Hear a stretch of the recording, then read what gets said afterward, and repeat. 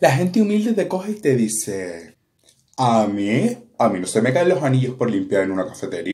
Y luego está Jennifer López, que te coge y te dice, el cuándo?